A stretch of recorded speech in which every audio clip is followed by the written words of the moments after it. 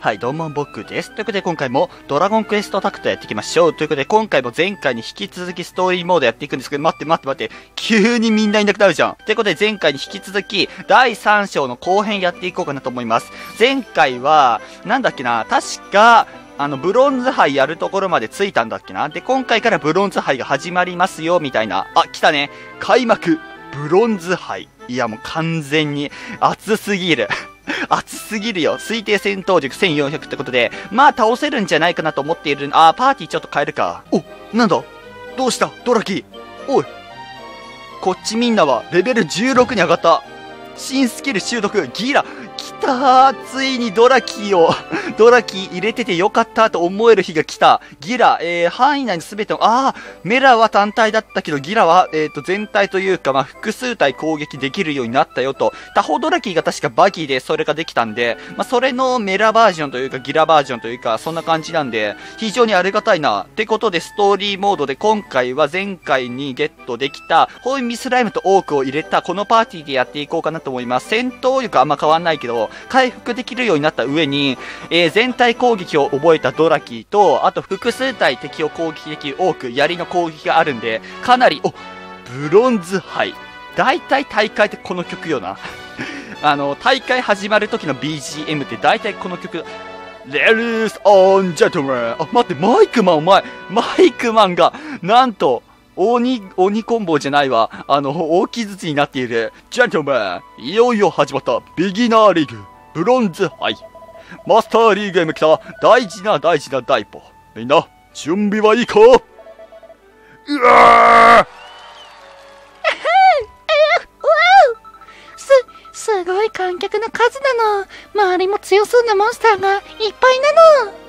まずは第1回戦、見慣れるモンスター、ユルシス率いるチームと、寄せ集め図のバトルだ寄せ集め図ってクソほど弱えそうな名前だな。ふふん、ユルシスのことみんなモンスターだと思ってるみたい。それ、悪口じゃね？みんな人間を知らないから、当然といえば当然。ああ、そういうこと？新種のモンスターだと思われてんの？あれか、なんか動物界の中では猿と人間一緒に見えるみたいなそういうこと？ユルシスがただものじゃないってこと？みんなに教えてあげるのこれまで通りに戦えばきっと大丈夫。さあ行こう、ユルシス。まあ、考え方によっちゃモンスターなのかもしれんな。その生き物、同じ生き物という、そのくくりの中では確かにな。うん、そのスライムとモーモンが同じモンスターだといえば、まあ人間もモンスターの一部にあることは変わりないからね。さ、キメラ。あー、どうしようかな。とりあえず、相手全体的にメラが苦手っぽいな。ギラってメラじゃないのか。だったら、そうだな。とりあえず、メラ使えるドラキー最前線のシャドウも使えるんで、スライムナイト、あ、こうかな。こっちからのスライムないと、ホイミスライムは回復できるんで、ちょっと後ろの方に回ってもらうと、これでいこうか。さあ、1ターン目。まずはスライムナイト。この子は動けないんで、一旦ここで待機でいいや。で、ベビーパンに関しては動けるので、ここでまずは攻撃19ダメージ。そしてベビーパンこっちに来るがウィングブロー。あー、ちょっときついな。そして体当たり。まあまあまあ、そのくらいだったら全然 OK。うーんとね、とりあえずメラ、ギラはこうか。だったらメラで、あー、ベビパンをとりあえず早めのパブロンで倒したいので、ここか。ここで攻撃か。じゃあここでメラで攻撃する。こっちみんな。さあ、これで25ダメージ。そして、あー、いや、辛いな。待て待て待て、辛い辛い辛い。ベビーパンさん。え、やべえ。こいつらできる。あれこいつらできるぞ。ホイミ使おう、じゃあ。えーっと、ここ回復して、多くを回復。いいね。しっかりと回復していく。そして、え、先行好きだと倒せないから、うーん、普通に戦うでいっか。普通に戦うで攻撃して、あと残りはとりあえずドラキーで最終的にはいけるか？ベビパン、あ、でも生きちゃうか。だったらとりあえず普通の通常攻撃でベビパンを倒す。で、メラでとりあえずモモンジャは攻撃できるはず。スライムはもう無視していいや。スライムはま、あ、待てよ。これギラでさ、両方攻撃できないの？これ。え、できないの？嘘でしょ？ここできないの？うわ、それきついな。じゃあメラかな？メラで、スライム取っちゃってもいいのかな？モモンじゃ次のターン行動するから、それだったら先にスライムを取っちゃう方がいいのか？ちょっと無視しようかなって思ったけど、まあ、こうなってくると話は変わるんで、これでいいや。で、えーと、これはハッカー、全然大丈夫。いいね。そして引っ掛け、あこれは、貫通チャンスなんでは？これは貫通チャンスなんでは？えー、っと、回復は誰か欲しいのいるか？あー、微妙だなでも戦う意味ないんで、まあ、ホイミでいっか。ホイミで回復する。さあ、回復。いいね、25。できればね、ベビーパンサーが良かったけど、さあ、これで先行好き。これが、多くの強いところ。さあ、いいね。あ、でもちょっと弱いな、威力。どうしよう。うーん、氷結でいけるか？氷結は耐性がある。あ、大弱点。だったらこっちで、最終的に、あー、ギリいけないか、乱数とかでは。じゃあ、ドラキーの最終的な、あ、これギラでいいでしょう。これで、ギラで攻撃、いけるはず。よしよし、ナイスドラキー。お前本当にモーモンじゃなくてよかった。モーモンだったらこれできませんからね。さあ、引っかきの嵐。これね、やっぱり、先行好きとかと違って、遠くからでも、そのね、横攻撃できるんで、これがでかいね。さあ、とりあえずこれは普通の通常攻撃で OK と。いや、弱っ。MP がないとマジでクソの役にも立たなかったわ。えー、っと、じゃあ、これは、遠距離で先行好きか、ちょっと待って。先行待てよ。いや先行好きよりは戦うの方がいいな、これは。まず普通に攻撃して倒す。オッケーオッケー。一時はどうなることかとベビーパンの時は思ったけど、まあベビーパンちょっとね、当たりが弱いんで、これで氷結で大弱点。これでワンパンいやいやいや、楽しすぎて。楽しすぎて。え、これさ、もう一回とかある？それともこれで終わり？一旦は。勝者は、ヨルシスチーム痺れるほどの戦いだったぜ私たちにかかれば当然なのだがお前は何もしていないって。これは大物ルーキー登場か？そんなお前に俺から質問だ。ズバリ、優勝する自信はあるか？うーん、まあ、ここは謙虚にね。いや、僕たちは無理っすよ。そう言って、他の奴らを油断させるか。くぅ作詞って感じだぜ。マイクマンとちょっとテイスト違うな。性格が。さあ、次の試合がお前を待ってるぜ。なんかこう、イケイケな感じだね。マイクマンはもう完全になんか、こう、仕事に勤めているというか、ね、完全に司会進行って感じだけど、こっちのマイクに関しては、マイクは本当になんか外国人のマイクって感じだね。さあ、ブロンズ杯第2試合。もう、そういうやつじゃん。第2試合とか。いや、いいね。楽しいな、ブロンズ杯結構。これ、ブロンズ杯は仲間にならないのかな？相手チーム戦って感じがするしね。さあ、行こうか、出発する。やっぱなんか相手理性がある感じがするんで、まあ、多分仲間にはならずにって感じなんじゃないでしょうか。さあ、第2試合。ここはちょっとね、手応えある方が嬉しいけど。さあ、始まるぜ。ブロンズ杯第2試合。出場するのは、大躍進が止まらないユルシスと、ここら辺では自称負けなし、草原ビギナーズ。ビギナーってことはあんま強くなさそうだけど。負けなし？そ、それは強敵なのもしかして、一回も戦ったことがないとか、なんか、負けなしとかそういうんじゃないの？なんかそんな気がするけど。自称っていうのがちょっと引っかかるけど、あ、まあ、自称だから、おお。へへへ、俺たちのチームに勝てるかな？ビビってるやつじゃん、いつも。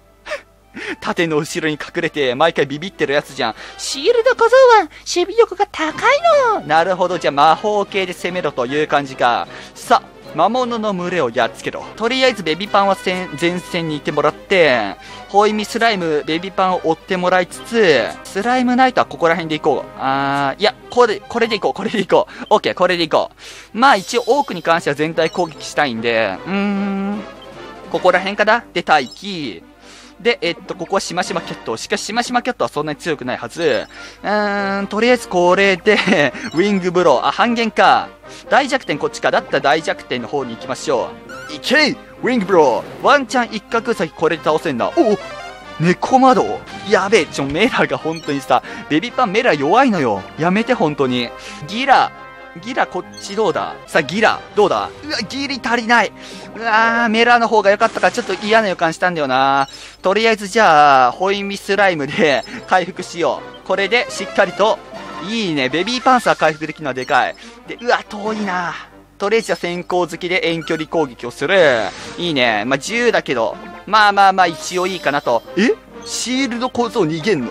戦うのが、シールド構造で守るのがさ、専門なんじゃないんさあ、これでしっかりと一角先。まあまあまあ、でも、ギラのおかげで確実という考え方もあるんでいいでしょう。で、あとは、うーん、どうしようかな。ウィングブローは半減か。シールド小僧、守り高いけど、とりあえず早めに倒しておくか。ホイミとか使われたら面倒だし、持ってるかわからんけど。さあ、ベビーパンサー。ベビーパンサーどうしようかな。待って。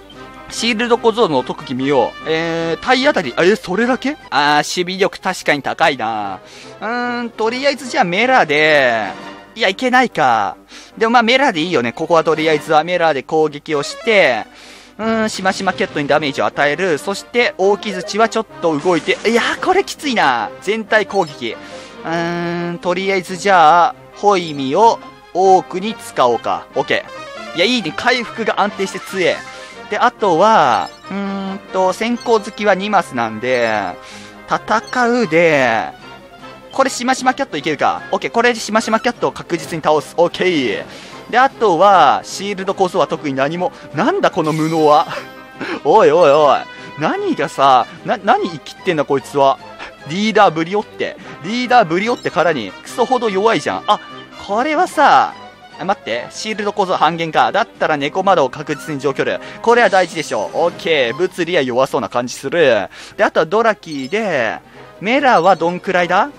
あー。いや、正直、大木槌に関しては次のターン動くんで、シールド小僧をもう潰しにかかろう。オッケー。で、大木槌はもうしょうがない。確実に受ける。で、33受けるけど、まあしょうがないと。で、あとは MP が足りないので攻撃してもいいんだけど、カロ、本当にもうミリ単位なんで、いや、どうしようかな。まあ普通に戦うでいっか。ちょ、なんか い弱っマジでハンフリーじゃん、お前。